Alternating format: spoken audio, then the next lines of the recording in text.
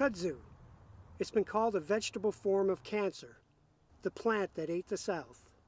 So you'd think farmers would welcome a bug that eats the invasive Asian vine. Not so much. It, when this insect is feeding on kudzu, it's beneficial. When it's feeding on soybeans, it's, uh, it's a pest.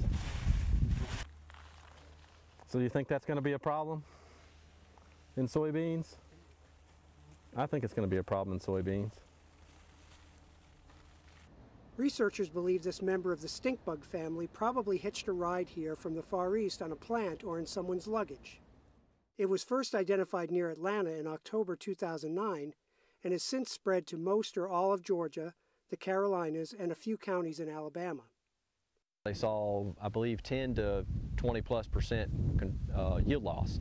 Uh, it, right now, it's running rampant in the southeastern United States because um, it's new here and it doesn't have any of those natural enemies uh, to keep it in balance. Greene and his colleagues are experimenting with sprays to control the pest. So far, the results have been mixed at best and that has farmers like Jack Richardson worried. Well, I sprayed them twice, but doesn't seem to kill them. So, uh, yeah, I'm worried about it. We don't need any new pests. We got enough now.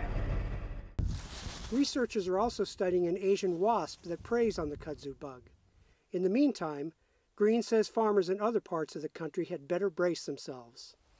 We're looking at climate data from um, its native land to see how far it's going to range in our latitudes here in the United States. And I think uh, it's going to be able to um, dwell anywhere in the United States that we grow soybeans.